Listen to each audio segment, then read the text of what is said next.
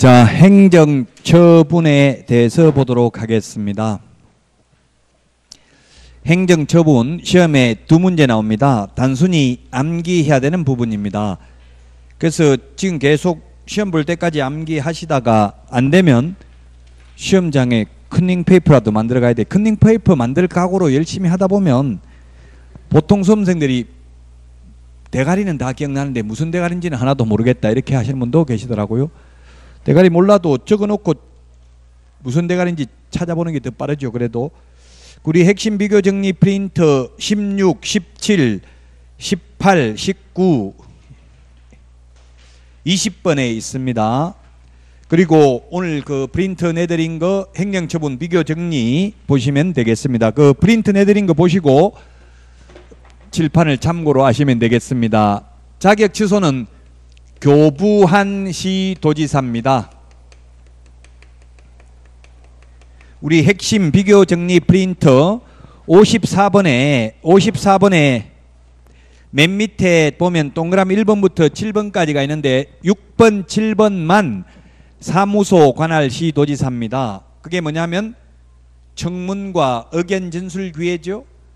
그 시행령에서는 어떻게 표현하고 있냐면 자격증을 교부한 시도지사와 사무소 관할 시도의사가 서로 다른 경우에는 자격 취소 또는 자격 정지 처분에 필요한 절차를 사무소 관할 시도의사가 모두 이행한 후에 교부한 시도지사에게 통보하라고 되어 있습니다. 그래서 그 자격 취소 절차에 필요한 절차가 바로 청문입니다.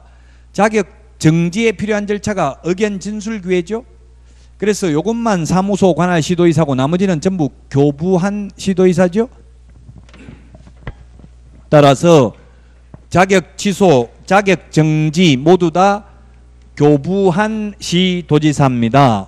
근데 등록 취소는 모든 것은 준, 줬던 사람이 빼앗고 뿌린 자가 거둔다고 했습니다. 결정권자와 변경권자는 똑같습니다. 자격증 준 사람이 자격 취소하고 등록해 준 사람이 등록 취소합니다. 등록 누가 해줬냐면 등록관청이 해줬습니다. 등록관청이란 사무소 소재지 시장 군수구청장을 말합니다. 업무정지도 등록관청입니다. 근데 거래정보사업자 지정 취소는 지정 취소는 국토교통부 장관입니다. 국토교통부 장관. 국토교통부 장관이 지정을 해줬기 때문에 지정 취소도 국토교통부 장관. 자, 그 다음에 처분 대상자는 누구냐 하면은 자격 취소는 공인중개사가 대상입니다. 공인중개사가 자격 취소 대상이고 자격 정지 대상은 소속 공인중개사입니다. 소속 공인중개사입니다. 소속 공인중개사가 자격 정지 대상입니다. 그 다음에 등록 취소는 개업 공인중개사입니다. 개업 공인중개사. 개업 공인중개사가 등록 취소 대상이고요. 업무 정지도 개업 공인중개사가 대상입니다. 근데 거래정보사업자 지정 취소 대상은 거래정보사업자입니다. 거래 정보 사업자입니다. 거래 정보 사업자가 대상이 되겠습니다.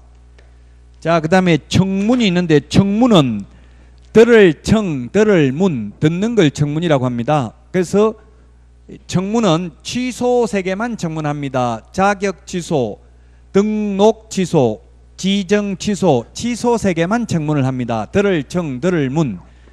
적극적으로 자기를 방할 수 있는 기회를 주는 게 청문입니다. 이게 공인중개사법에 규정돼 있고요. 근데 자격 정지와 업무 정지는 청문한다는 말 없고요. 그러면 의견 진술 기회를 부여해야 되는데 의견 진술 기회를 부여한다는 규정은 공인중개사법에 있는 것이 아니라 행정절차법에 있습니다. 행정절차법에 보면은 국민에게 부담적 행정행위를 하고자 하는 경우에는 청문, 의견 진술 기회 또는 공청회 셋 중에 하나는 반드시 거쳐야 된다라고 되어 있습니다. 그래서 행정절차법에 의해서 의견 진술 기회는 부여해야 되고요. 우리 공인중개사법에 의견 진술 기회를 주라는 규정은 없습니다. 자, 그 다음에 보고하는 것은 오로지 자격 취소 하나만 5일 이내 5일 이내 국토교통부 장관에게 보고해야 됩니다. 5일 이내 국토교통부 장관에게 보고해야 되고 나머지는 보고 규정이 전혀 없습니다. 그 다음에 통지는 자격 취소를 한 경우에는 다른 시도지사에게 통지를 해야 됩니다. 왜냐하면 자격 취소되면 5년 동안 아 5년이 아니라 3년 동안 시험을 못 보는데 다른 시도에 가서 시험 볼 수도 있기 때문에 다른 시도의사에게 통지해 줍니다. 그러나 나머지는 통지 규정이 없습니다. 통지 규정이 없고요. 다만 자격정지의 경우에는 등록관청이 등록관청이 자격정지에 해당하는 사실을 알게 된 때에는 시 도지사에게 통보해야 됩니다. 시 도지사에게 등록관청이 자격정지에 해당하는 사실을 발견하게 된 경우 적발하게 된 경우에는 시도지사한테 통보해 줘야 된다고요. 왜? 시도지사가 자격정지 할 수 있도록 다만 자격정지 처분을 한 시도지사가 다른 시도지사에게 통지하는 규정은 없고 보고하는 규정도 없다고요. 좀 어렵습니다. 이 부분이. 자, 반납은 취소 세개만 반납합니다. 취소 세개만 자격 취소 7일 이내에 교부한 시도지사에게 반납합니다. 등록 취소도 7일 이내에 반납합니다. 자, 취소 세개라고 했는데 거래정보사업자 지정 취소의 경우 반납 규정이 없습니다. 그럼 뭐가 있느냐 하면 여기에는 없지만 매수 신청 대리인 등록이 취소되었을 때 7일 이내 반납을 해야 됩니다. 그 우리 핵심 비교 정리 프린트 51번에 보면은 51번에 32번, 33번, 34번에 있네요. 34번 밑줄 치세요. 34번에 보니까 매수 신청 내린 등록 취소되니까 7일 이내 반납하라고 돼 있죠. 그래서 32, 33, 34번에 있습니다. 51번에 7일 이내에 반납하는 거. 취소 3개만 7일 이내에 반납한다. 그러나 거래정보사업자 지정 취소는 반납하지 않는다. 제척 기간이 있는 것은 제척 기간을 규정하고 있는 것은 오직 업무 정지밖에 없습니다. 업무 정지는 그 사유가 발생한 날로부터 3년이 경과한 때는 업무정지 처분을 할 수 없다 이런 말이 있습니다. 우리 핵심 비교정리 프린터 46번에 46번에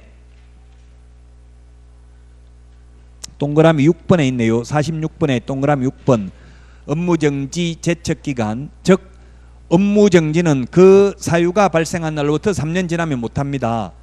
요거하고 헷갈리는 게 업무 정지를 회피하기 위해서 폐업을 했다면 폐업 기간이 1년을 초과하면 폐업 신고 전의 위반 행위로 인한 업무 정지 하지 못한다는 규정 있죠? 그거하고 구분을 해야 됩니다. 자, 그 다음에 효과입니다.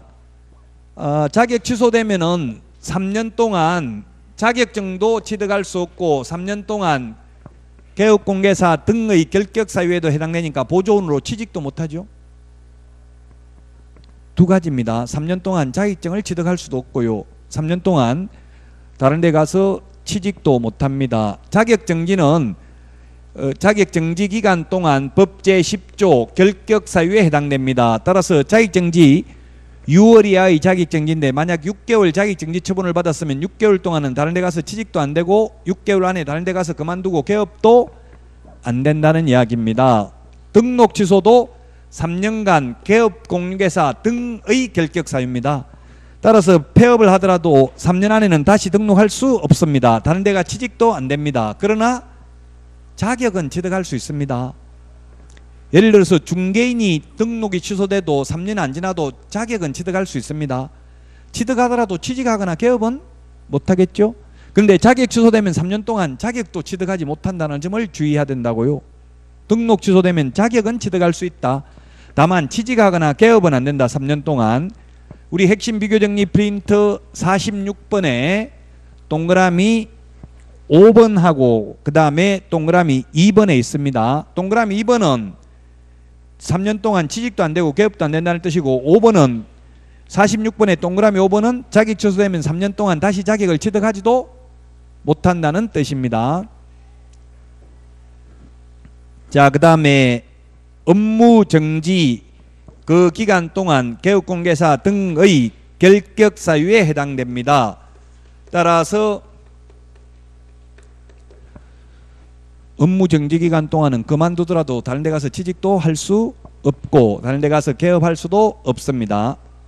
지정 취소에 대해서는 규정이 없습니다. 왜냐하면 지정 취소는 지금 현재 지정을 받은 업체는 한방 PC 버전 하나밖에 없어요. 하나밖에 없기 때문에 지정 취소를 현실적으로 하지 않기 때문에 지정 취소됐을 때 어떻게 한다는 규정도 두고 있지 않습니다.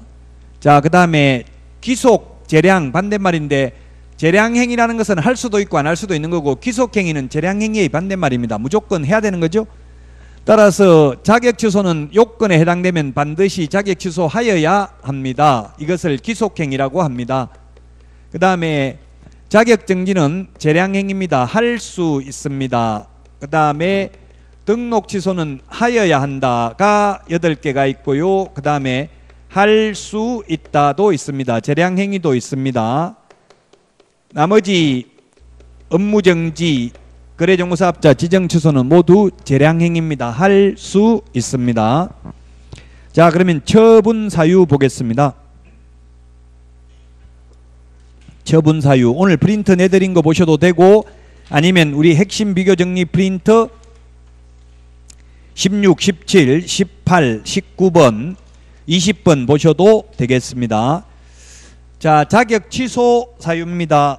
자격 취소 부양 지역 이렇게 암기하도록 하겠습니다. 부양 지역 거짓 부정한 방법으로 자격을 취득한 경우 그 다음에 자격증 양도되어 한 경우 그 다음에 자격 정지 기간 중에 업무를 하거나 자격 정지 기간 중에 이중 소속이 되는 경우입니다. 그 다음에 이 법에 의해서 진역형을 선고받은 경우입니다. 따라서 선고받고 집행이 유예돼도 자격 취소됩니다. 집행이 유예돼도 자격 취소됩니다. 그러나 선고 유예되면 자격 취소가 안 됩니다. 선고받은 경우라고 되어 있기 때문에 이 법에 의한 진역형입니다. 부양지역 이렇게 기억하도록 하겠습니다. 자, 그 다음에 자격 정지 처분할 수 있는 사유인데 자격 정지 할 수 있는 사유 우리 서브노트 56페이지 메뉴에 보면은 국토교통부령으로 구체적 기준을 정하고 있습니다. 이 서브노트는 다른 선생님도 이 교재로 강의를 하기 때문에 제가 교재를 법조문 순서대로 편집을 했습니다. 그래서 표가 제 암기 방식이 아니죠. 그냥 거기 56페이지 메뉴에 보니까 1번 6개월짜리 동그라미 하면 1번, 6번, 7번 세 개가 6개월이잖아요. 그래서 저는 오늘 내드린 프린트나 또는 핵심 비교 정리 프린트 19번에 보면은 나와 있는데요.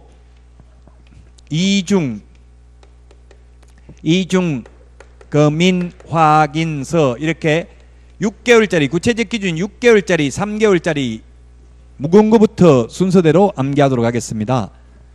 시험에 구체적 기준까지도 출제를 했습니다.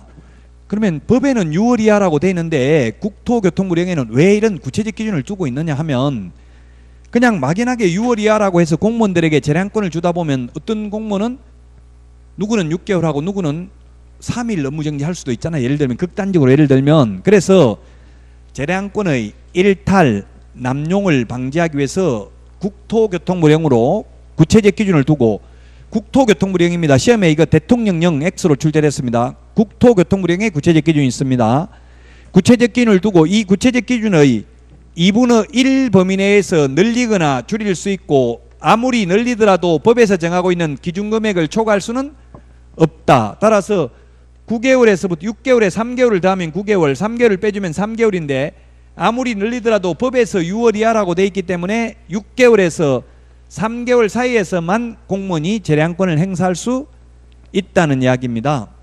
재량권 일탈 남용을 방지하기 위해서 이렇게 국토교통부령으로 구체적 기준을 두고 있습니다. 자 그러면 이중이 뭐냐면 이중 소속 그 다음에 이중 계약서 다운 계약서 업계약서 금지 행위하면 구체적 기준 6개월 인장 등록 위반 확인 설명 근거 자료 제시하지 않거나 확인 설명서에 서명 날인하지 않거나 계약서에 서명 날인하지 않는 경우에는 3개월입니다. 구체적 기준이 자격 정지, 업무 정지의 구체적 기준은 국토교통부령에서 규정하고 있고요. 과태료의 구체적 기준은 대통령령에 규정하고 있다는 거 시험에 출제됐었습니다. 자, 그 다음에 등록을 취소하여야 한다. 오늘 내드린 프린트 보셔도 되고요. 핵심 비교 정리 프린트 16번 보셔도 되고 서브노트 56페이지 맨 밑에도 똑같이 되어 있습니다. 순서대로 사 에, 해부결의 우리나라 사람들은 이게 부검하는 거 싫어하잖아요. 부검하는 걸 해부라고 하잖아요. 사람 두 번 죽인다고 해서 웬만하면 해부 부검을 안 하려고 하죠. 그런데 해부를 결의했다. 부검 해부를 결의했다. 소양 없이 교양 없이 소양 없는 거 교양 없는 거죠. 소양 없이 해부를 결의했다. 자, 해가 뭐냐면 법인의 해산 사망입니다. 해산 사망. 옛날에는 이게 해산 사망은 등록 취소가 아니라 그냥 스스로 폐업 신고하고 등록증 세대를 같이 한 자가 반납하라고 했어요. 근데 죽고 없는 사람이 폐업 신고 안 하겠죠? 그래서 이제 등록을 죽고 없으면 통계는 지워야 되잖아. 개업공개사라는 통계에서 법인이 해산하는 거는 개인이 죽는 거하고 같은 거죠. 해산, 부정한 방법으로 등록, 결격 사유, 법제 10조 개업공개사 등의 결격 사유에 해당되는 경우 이중 등록, 이중 소속, 그 다음에 등록증 양도 대여한 경우, 그 다음에 업무 정지 기간 중에 업무를 하거나 자격 정지 기간 중에 있는 소속 공인회사로 하여금 업무를 하게 한 경우 이 법 위반으로 최근 1년 이내에 2회 이상 업무 정지 처분을 받고 또다시 업무 정지에 해당하는 위반 행위를 한 때 자, 그 다음에 등록을 취소할 수 있는 사유는 우리 서브노트는 57페이지에 있는데 이 57페이지에 있는 순서하고 달리 오늘 내드린 프린트나 또는 17번 핵심 비교 정리 프린트 암기 프린트 17번에 있는 순서대로 하겠습니다. 순서만 다릅니다. 서브노트하고 17페이지에 보니까 이중 겸임 이중 겸임 보증금 채근 휴등 자꾸 암기 자꾸 반복하면 암기가 됩니다. 언어도 반복성, 역사성이 있죠. 이 언어가 우리 말하는 게 이게 무슨 규칙이 있는 게 아니에요. 그냥 계속 하다 보니까 이 말이 되는 것처럼 이것도 계속 암기하다 보면 말이 되는 거예요. 자, 이중 등록, 이중 소속은 절대적 취소인데 이중 사무소, 이중 계약서는 임의적 취소. 임의적 취소, 상대적 취소, 등록 취소할 수 있다. 다 같은 말이죠. 임취, 상취, 임등취, 상등취 다 같은 말입니다. 자, 그래서 이중 등록, 이중 소속은 절대적 취소, 이중 사무소, 이중 계약서는 임의적 취소 같은 이중이라는 말이 들어가도 그 다음에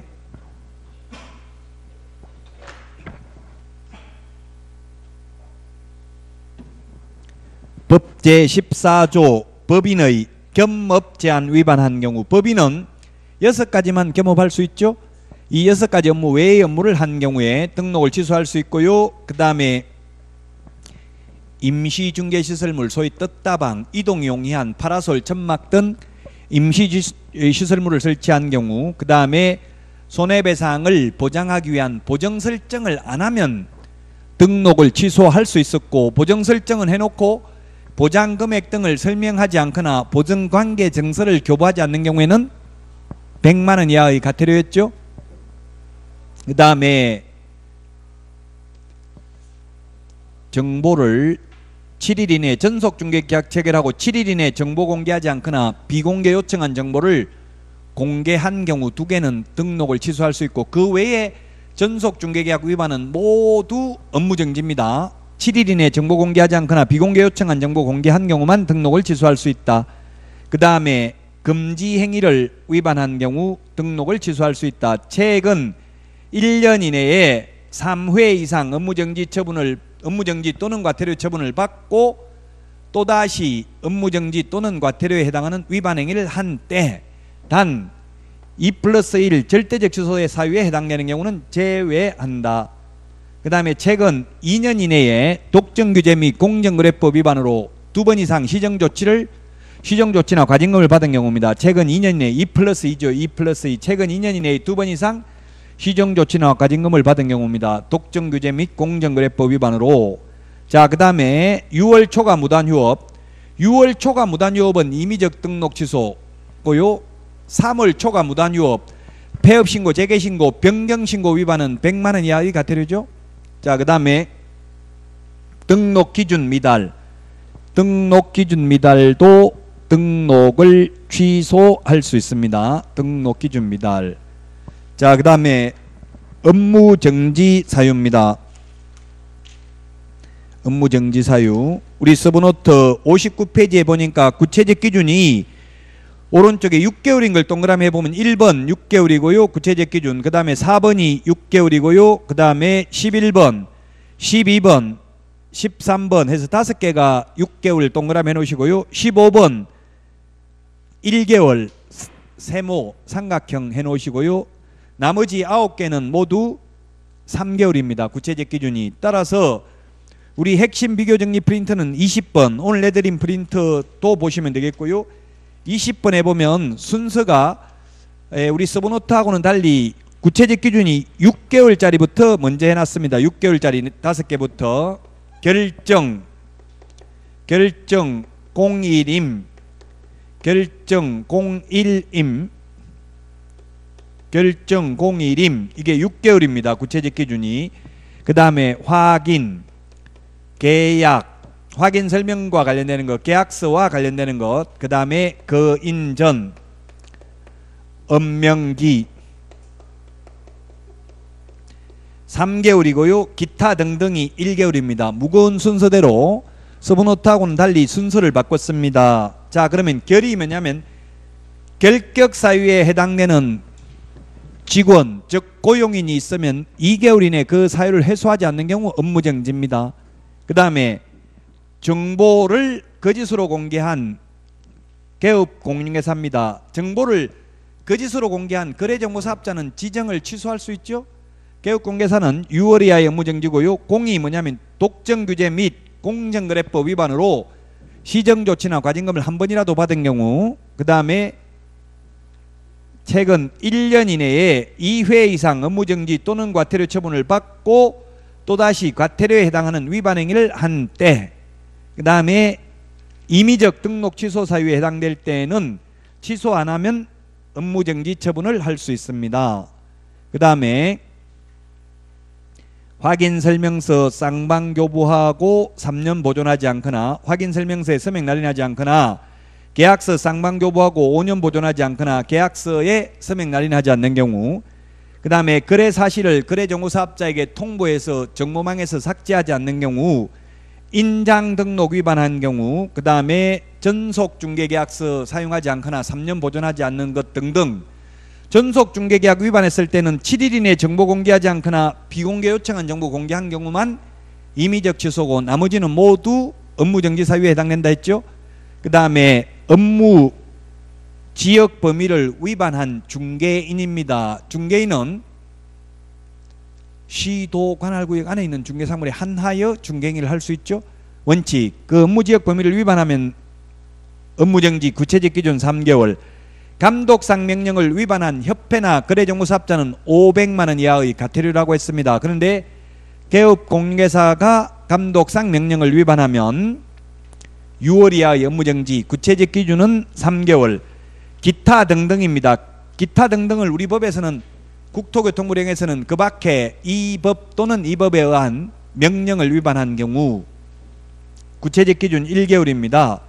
이 구체적 기준 범위 2분의 1 범위 내에서 위반 행위의 동기, 결과, 횟수를 참작하여 늘리거나 줄일 수 있다. 즉 가중하거나 감경할 수 있다. 앞에 자격정지에서도 말씀드렸습니다. 그래서 만약 구체적 기준 6개월이면 2분의 1을 더하거나 2분의 1을 빼줄 수 있다. 더하면 9개월, 빼주면 3개월. 그러면 공무원이 9개월에서 3개월 사이에 재량권을 행사할 수 있는 게 원칙인데 다만 법에 6월 이하라고 돼 있기 때문에 아무리 가중하더라도 즉 늘리더라도 법에서 정하고 있는 6월을 초과할 수는 없다. 따라서 6월에서 3개월 사이에서만 공무원이 재량권을 행사할 수 있다는 이야기입니다. 결정, 공일임, 확인, 계약, 거인전, 엄명기 암기됩니다. 15개. 시험 두 문제 나옵니다. 이 표에서. 그 다음에 지정 취소할 수 있는 사유입니다. 지정 취소할 수 있는 사유는 앞에서도 했습니다. 우리 그 핵심 비교 정리 프린트 8번에 나와 있네요. 8번. 8번에 보니까 부운정 1해 부운정 1해입니다. 1해 1 아라비아 숫자 1이죠. 그지 부정한 방법으로 지정받은 경우 운 운영 규정을 위반해서 정보망을 설치 운영하면 지정도 취소할 수 있고 500만 원 이하의 과태료도 부과합니다. 정은 정보를 거짓 공개하면 지정 취소할 수도 있고 1년 이하의 지정이나 1000만 원 이하의 벌금에도 처합니다. 1년 이내에 정보망을 설치 운영하지 않는 경우 1년인데 시험에 6개월, 2년 X로 출제됐습니다. 지정받은 날부터 1년 이내에 정보망을 설치 운영하지 않는 경우 그 다음에 사망, 해산 등으로 정보망 설치 운영이 불가능한 경우에 지정을 취소할 수 있습니다.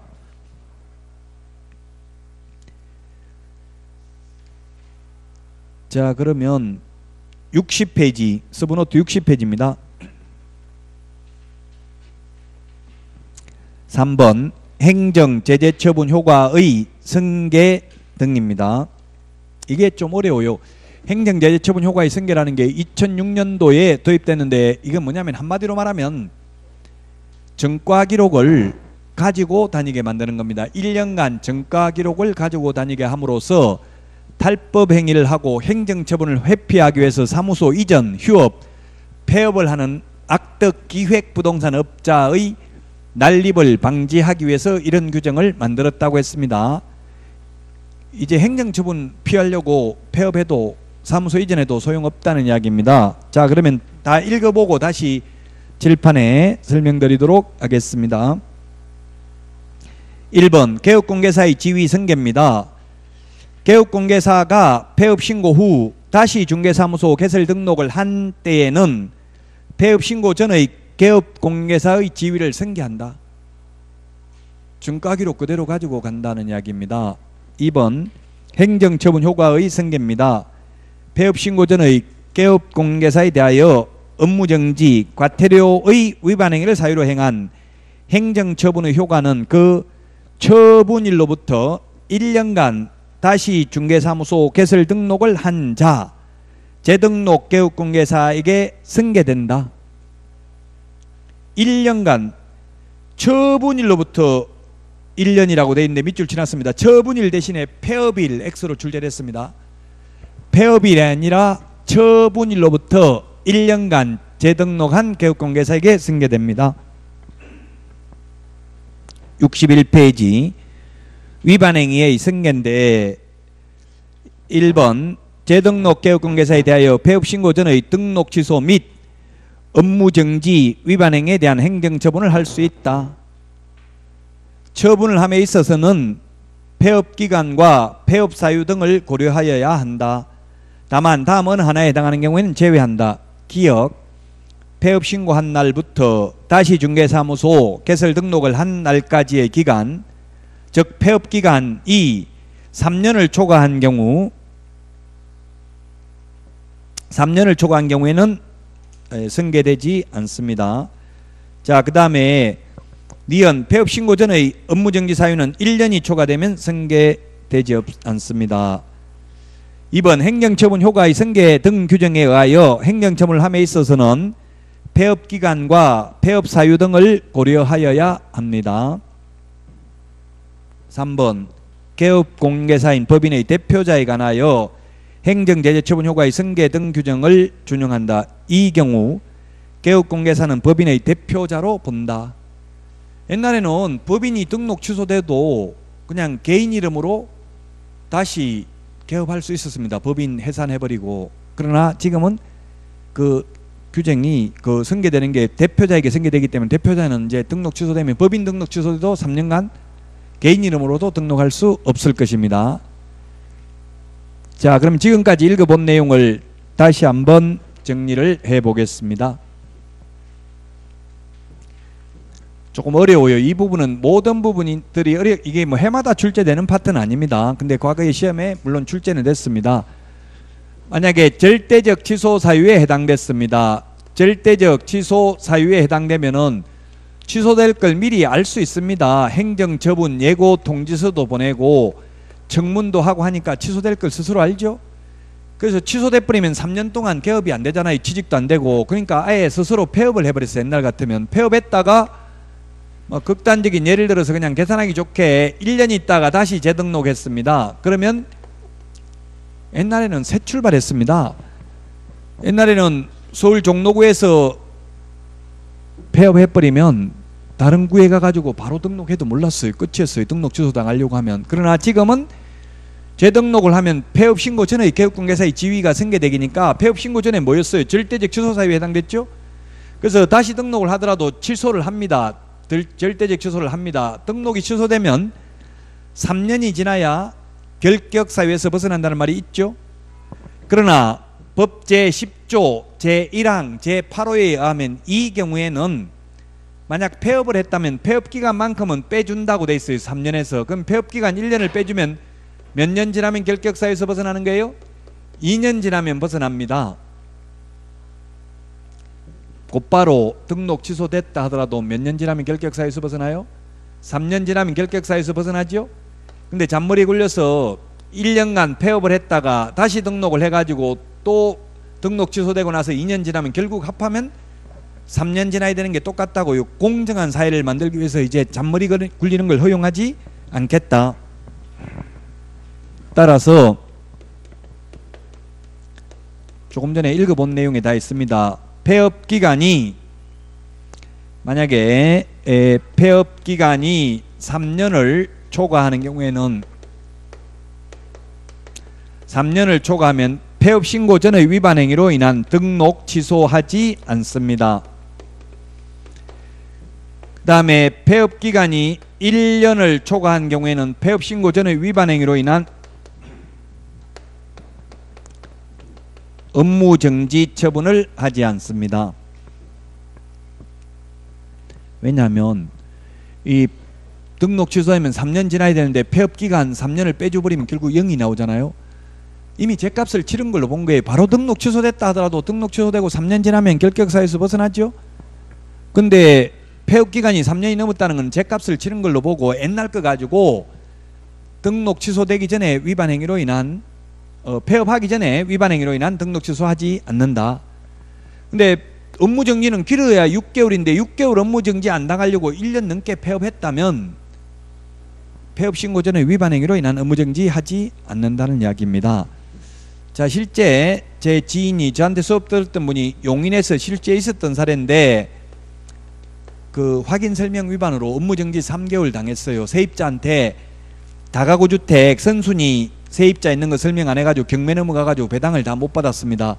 보증금이 6천만 원인데 배당 한 푼도 못 받았어요. 그래서 소송해가지고 개업공개사한테 1,800만 원 손해배상하라고 6, 30% 3, 68 30%에서 1,800만 원 배상하라는 판결이 나왔어요. 그러면서 또한 업무정지 3개월 받았습니다.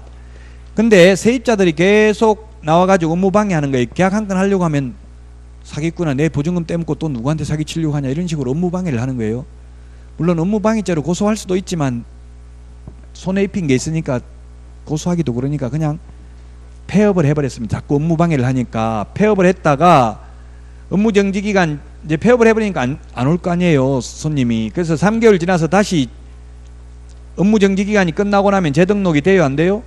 되죠 업무 정지 기간 중에는 결격 사유니까 등록이 안 되죠 다시 등록을 하자마자 바로 업무할 수 있어요 없어요?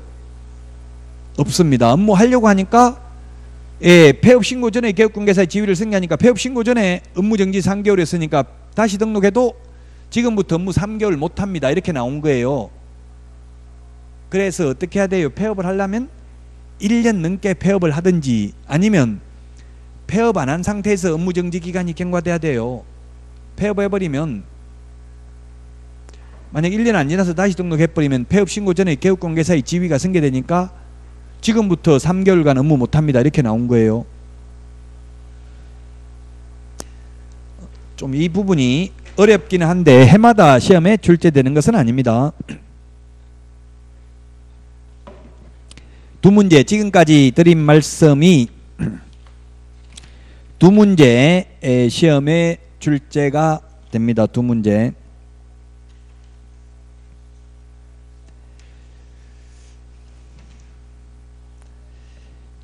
자, 62페이지 공인중개사 협회입니다. 협회. 어, 협회는 별로 안 중요합니다. 시험에 한 문제 정도 출제됩니다. 그 메뉴에 출제된 걸 보니까 25회 때 나오고 29회 때 나왔죠? 내용이 엄청나게 많아요. 이런 많은 내용에서 시험에 이 정도 나왔으면 별로 안 중요한 거죠. 상대적으로. 그래서 공인중개사법에서 가장 안 중요한 게 공인중개사 제도와 협회가 내용이 많은 거에 비하면 출제가 한 문제 정도밖에 안 되니까 별로 안 중요한 편이에요.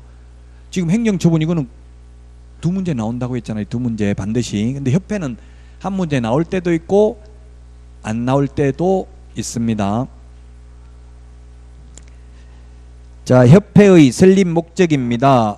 어, 62페이지 메뉴에 보니까 개업 공인중개사인 공인중개사는 협회 설립할 수 있다. 제가 밑줄 지났습니다. 그래서 자격증만 땄다고 무조건 협회 설립할 수 있는 게 아니라 개업을 한 공인중개사입니다. 개업 공개사인 공인중개사입니다. 개업 안 한 공인중개사는 협회 설립할 수 없죠? 협회 가입도 개업 공인중개사만 가능해요. 자격증만 땄다고 협회 가입할 수 있는 거 아닙니다. 제가 협회 그냥 폐업해버리니까 자동 폐업하고 협회 홈페이지에 로그인 하니까 안 되더라고요. 이미 회원이 아닌 거예요. 지금 폐업해버렸기 때문에 그 폐업하면은 다음 달 10일까지 협회에 통보하잖아요. 폐업 신고 사실을 그래서 협회에서 다 알고 아예 자동으로 그 탈퇴시키 버리는지 로그인이 안 되더라고요. 해, 그 옛날 아이디 가지고 하니까 그래서 결론은 자격증만 땄다고 협회 설립하거나 가입할 수 있는 게 아니고 개업을 한 공인중개사만 개업공개사인 공인중개사만 협회 설립할 수도 있고 안 할 수도 있다. 그래서 협회가 중요하지 않다고요. 왜냐하면 이미 설립단체로 바뀌었기 때문에 그렇습니다. 1999년 7월 1일부터 바뀌었는데요. 그전에는 의무가입주의 협회 무조건 등록하면 협회 회원이 된다 이렇게 돼 있었습니다. 옛날에는.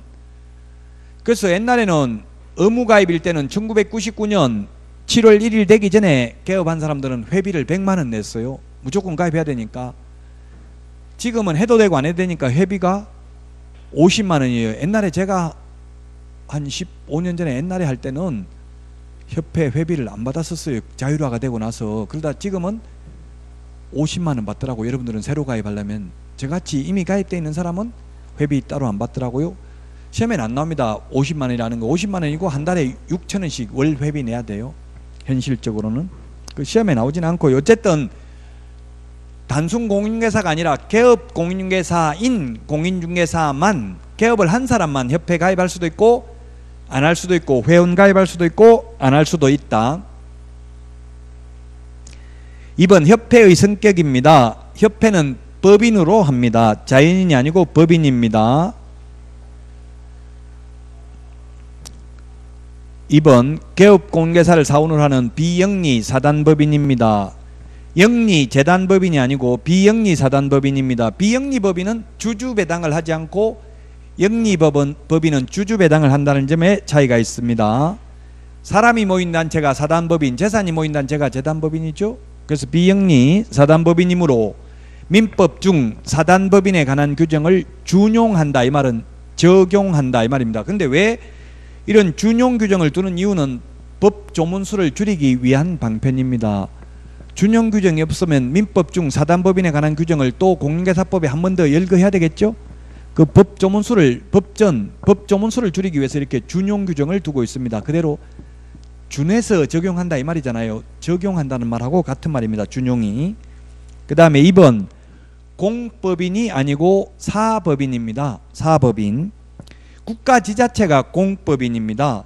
그 다음에 법인 설립 입법주의는 인가주의고 임의 설립주의입니다.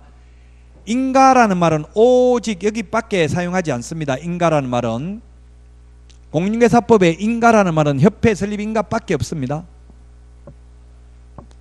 인가를 안 받으면 효력이 없죠. 인가는 인가는 효력 요건입니다. 임의 설립주입니다. 강제 설립주의가 아니고요. 그래서 시험에 이런 게 출제됐습니다. 협회 설립 인가 받으면 협회는 성립한다.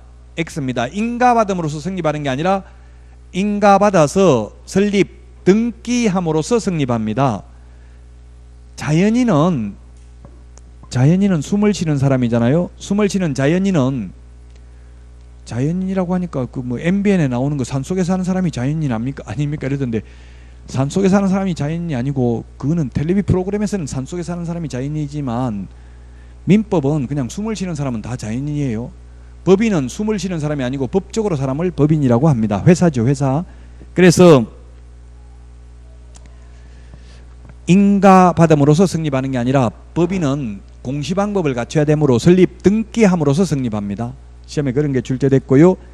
이번 협회 설립 절차입니다. 거기에 보니까 표를 보면 회원 300인 이상 발기인이 되어 정관을 작성한 후 회원 300명 이상입니다. 발기인은 발기인은 300명 이상, 그 다음에 협회 창립 총회에는 600명 이상이 참석을 해야 됩니다. 이 600명 중에는 서울특별시에서 100명 이상, 그 다음에 광역시 및 도에서 광역시 및 도에서 20명 이상이 참석해야 됩니다. 시험에 다음 가로 안에 들어가야 될 숫자로 바르게 연결된 것은 이렇게 출제됐습니다. 그래서 600명이 서울에서만 몽땅 다 참석하면 안 되고 600명 중에는 서울에서 100명 이상이 돼야 되고요. 광역시 및 또는 우리나라에 15개죠. 16개 시도 중에서 서울 빠져나갔으니까 물론 세종특별자치시는 여기 제외됩니다. 세종특별자치시까지 하면 17개 광역자치단체가 있죠. 그 중에서 광역시 및 또는 15개입니다.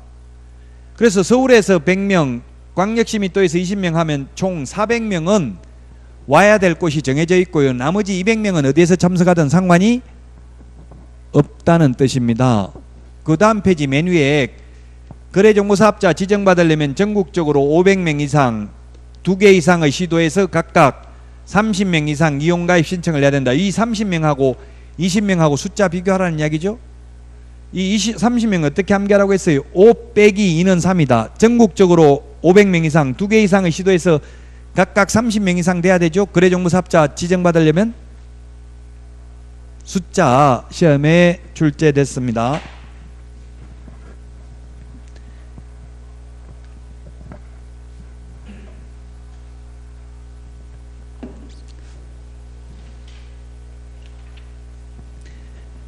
육십삼 페이지 3번 협회의 구성과 기관인데 협회 주된 사무소는 전국 어디에 두든 상관없습니다. 옛날에는 서울특별시에 주된 사무소를 두어야 한다는 규정이 있었는데 삭제됐습니다. 어디에 두든 상관이 없고요. 그 다음에 지부지회는 협회 정관으로 정하는 바에 따라 시도의 지부를 시군구의 지회를 둘 수 있습니다. 물론 이때 시라고 했을 때는 구가 설치되지 아니한 시와 제주특별자치도의 행정시를 시를 말합니다. 그러면 광역시가 아니라도 지금 인구 100만 명이 넘으면 광역시가 될 수 있는데 인구 100만 명이 넘는 시가 광역시 아니면서도 우리나라에 4개가 있어요. 가장 많은 데가 수원시 120만 명입니다. 수원시, 용인시, 고양시, 창원시 네 군데는 100만 명이 넘어요, 인구가. 그래서 구가 설치돼 있죠. 그럼 수원시에 구가 4개가 있는데 울산에 아마 5개 구가 있을 거예요. 그럼 4개 구가 있으면 구별로 설치할 수 있다는 이야기입니다. 지회를 시군구에 두는 걸 지회, 시도에 두는 걸 지부라고 하죠. 그래서 지부, 지회에 어, 시도의 지부를 시군구의 지회를 둘 수 있습니다.